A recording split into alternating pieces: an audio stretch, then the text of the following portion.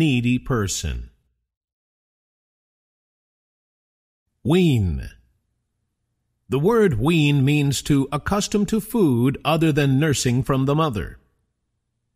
The baby's mother was gone, but his father was determined to wean the child from depending on his mother.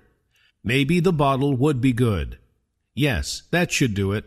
He would use the bottle to wean the child. Wean.